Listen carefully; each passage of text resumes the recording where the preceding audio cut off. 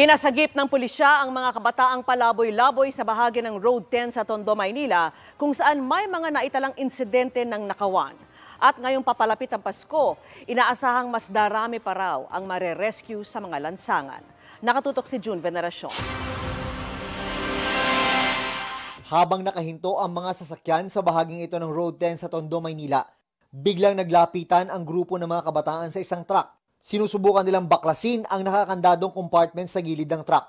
Matapos ang ilang subok, napakaripa sila ng takbo nang may bumaba sa truck na may hawak na parang bladed weapon. Hinahanap na ng mga pulis ang mga sangkot. Doon sa mga kabataan na nakita ngayon sa video at yung mga magulang, ah, pupuntahan po namin kayo sa mga bahay nyo para makausap namin kayo ng personal. Kanina, inikutan ng mga pulis ang lugar. Hindi nahanap ang mga batang nasa viral video. Pero may naaktuhan na inaakyat umano ang isang trailer truck. 19 anyos na ang sospek. Nag-aabangan po ng truck ng DPS para makapangkain lang po. Ang ganitong mga insidente, paulit-ulit na nangyayari sa Road 10. Kaya nagbaba ng kautusan ng commander ng MPD Station 1 na kabilang sa nakakasakop sa lugar. Lahat ng mga bata na nasa road 10 ngayon, kunin nyo. Agad na ikinasa ang rescue operation. May mga nakatakas. Meron din namang mga inabutan. Ito po yung mga kabataan na nag, nangangalakal dito. Na usually dapat yung mga kabataan natin is nasa eskwelahan.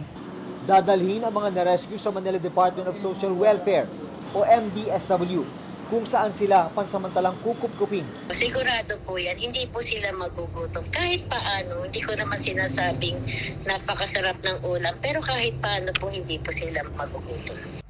Kabilang sa mga target ng 24 oras na rescue operation ng MDSW, ang mga palaboy at mga namamalimos sa kalsada. Ngayong papalapit ang Pasko, inaasahan ng Manila City Hall na mas marami pa ang kanilang marerescue sa mga lansangan. Sa ngayon, dahan-dahan na raw napupuno ang dalawang temporary shelter na lusod. At kung kinakailangan, may mga nakahanda naman daw pasilidad na pwedeng gawing dagdag na temporary shelter. Pinaghahandaan na rin ng Department of Social Welfare and Development ang mga reception center nito sa buong bansa dahil sa inaasahang pagdami ng mga marerescue ngayong Kapaskuhan.